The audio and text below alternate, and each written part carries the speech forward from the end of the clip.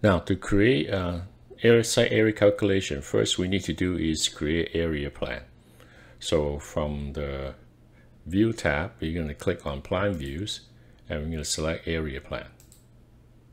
And then we're going to select this option here, this one here, ground floor.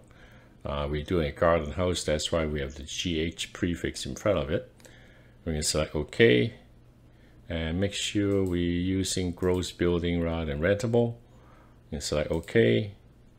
And I'm not sure how the program is going to deal with the boundaries, so I'm usually saying no. So we have this area plan created, and we probably need to do some cleaning up, removing all the unnecessary information from the link uh, survey drawing uh, CAD file, and then clean up a little bit before we start. So I'll do that and come back to show you what to do next. Now that we've cleaned up the view and uh, turn off some of the information we don't need for doing this area plan, we can start placing the area boundary to create this area uh, object inside this plan. So I'm just going to go to the architectural plan and then select area boundary. I'm just going to pick the sketch tool, just going to use line. So uh, select the endpoint of the property boundary and just go through the whole process of placing all the necessary area boundary and then we can start placing the area afterward.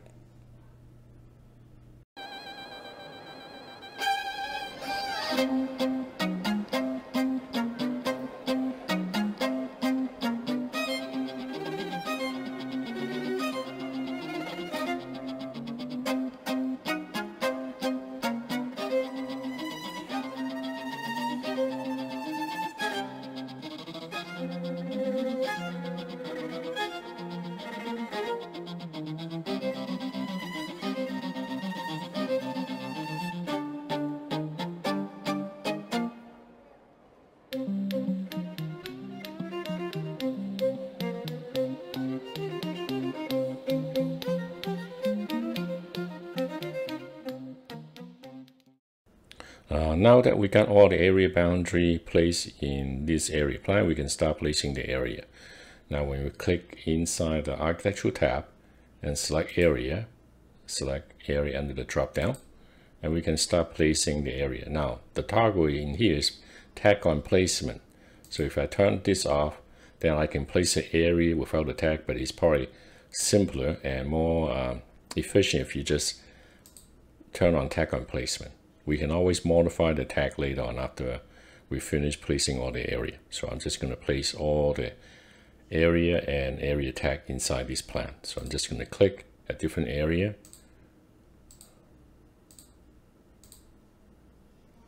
And make sure that the whole thing has the area fill. And then we can start labeling or giving the area its name and category uh, for the table sorting and calculation.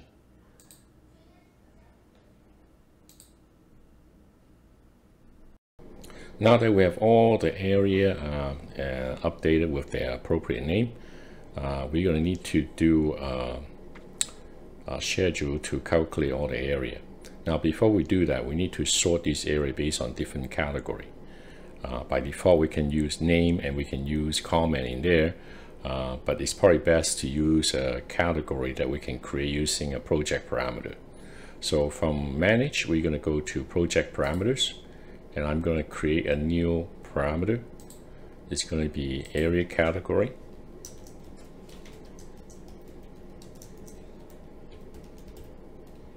And it's going to be instance parameter. It's going to be a text category information and I'm just gonna put it inside area areas in here okay I'm gonna select uh, group under power in identity data and then select OK and select OK. Now next time when you select an area, so if we tap to select this area, and you can see in the identity data, you see area category. Now in here, we can place the, we can add the text information to for sorting and grouping of these of this area. So I'm just going to put in here paved area. Okay.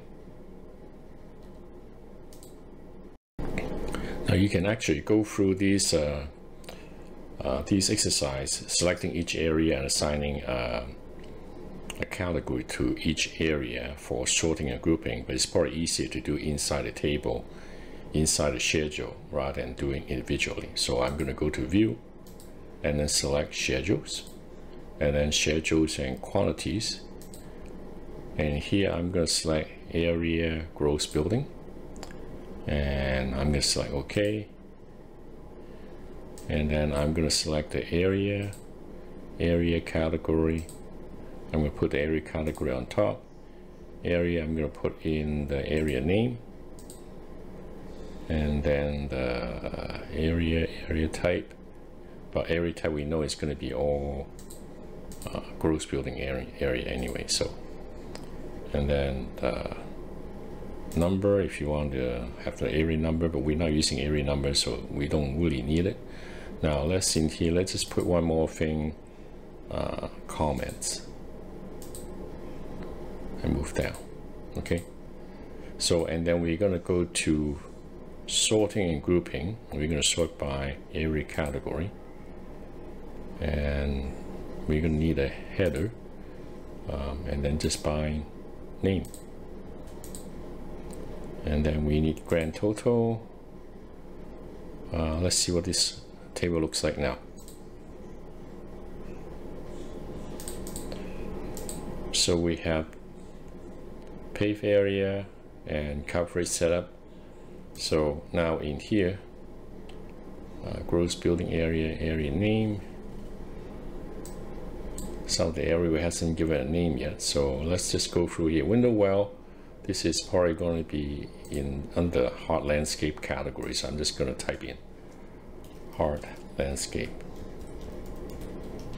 So once I type it in, it's going to create a header and then I can just go in here and pick like a drop down. I don't need to type this again. Window well. And then sunken patio is probably going to be on the hard landscape area as well.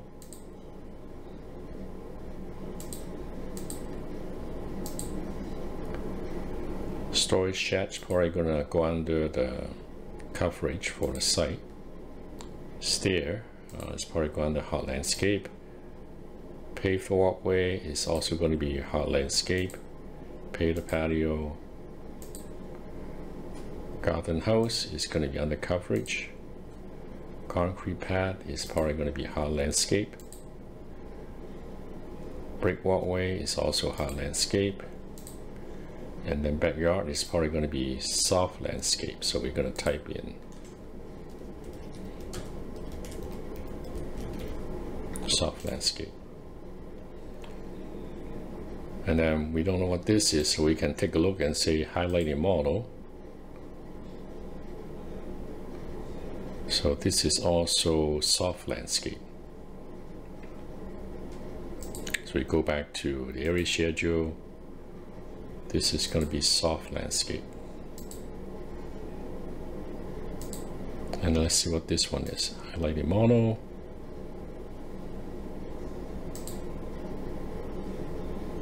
so also soft landscape.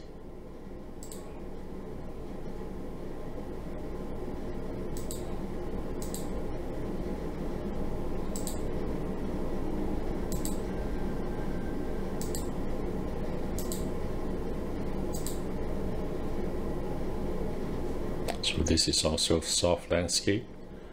So we're just going to close, go back in here.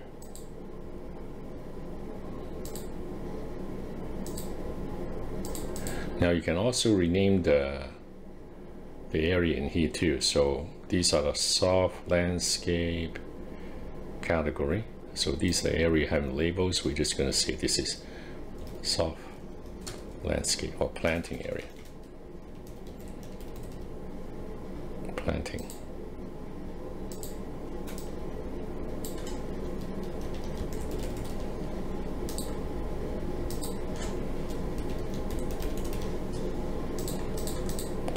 So with all this set up now, because we have a header, we don't need to see this uh, column repeated so many times. So we can just go in here, right mouse, say uh, high column.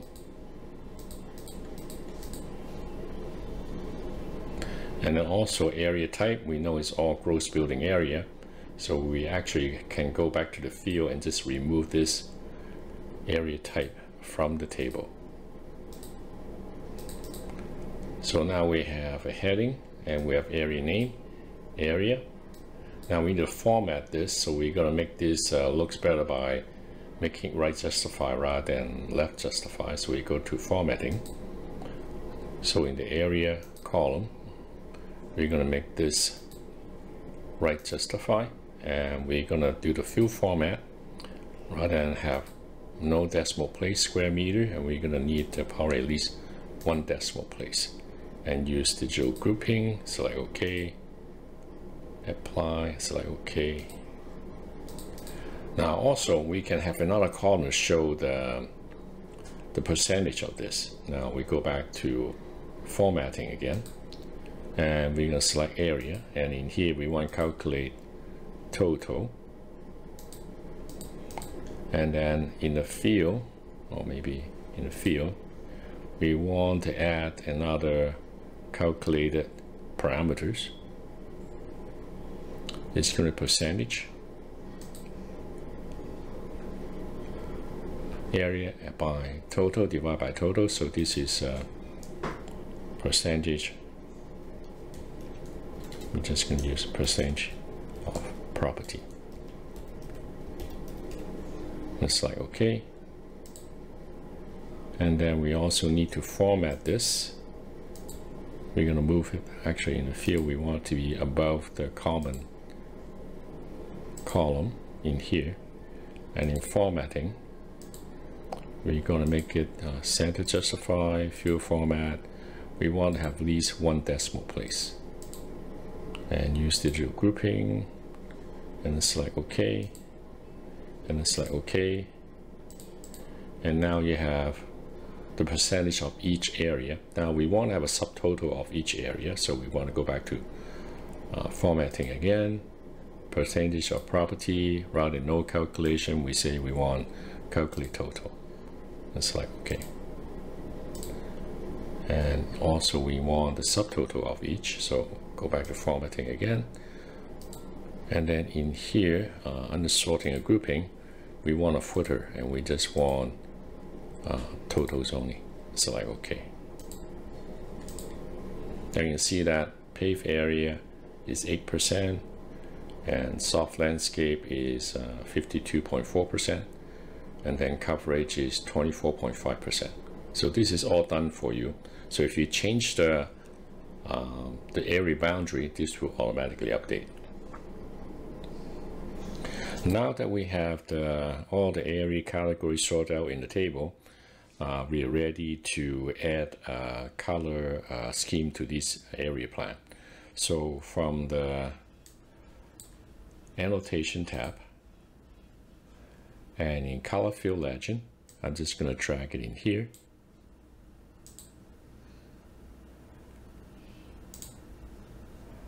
Area gross building, okay, and now we're going to go to uh, click in here and say add a scheme. Now, title, uh, building area legend, area type. Now, instead of doing that, we're going to select area category. So we have these different categories set up in the table. Now for the coverage, I probably don't want to have a pink. I want to have maybe something that is a little bit more stronger. Maybe a, a blue like this, okay and then hard landscape probably a green some sort of a green but not so bright maybe a bit of dull green. Select OK. And then for soft landscape, I probably want to have a bright green.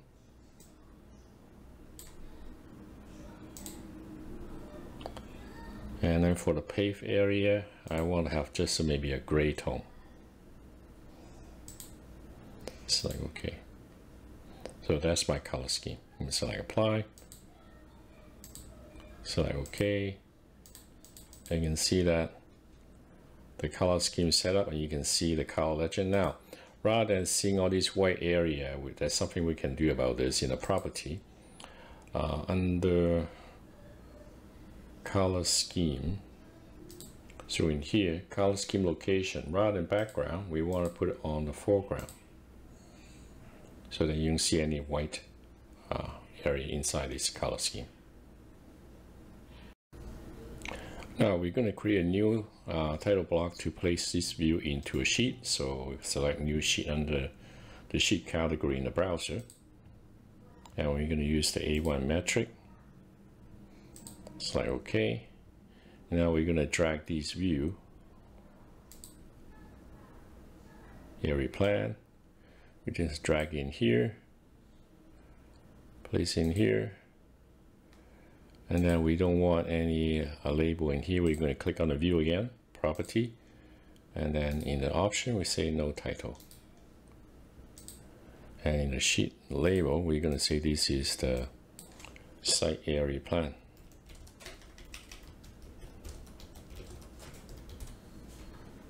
and now afterward we can actually go back to the browser and bring in the in the calculation that we created inside the, the schedule that we created. So if we look at schedules, area schedule, gross building, we just drag in here. And that's our schedules. So this is the overall uh, process of creating an area plan to calculate uh, pave area, uh, building coverage and landscape area. So I hope you enjoyed this video. Uh, don't forget to give it a thumbs up and subscribe. Thank you for watching.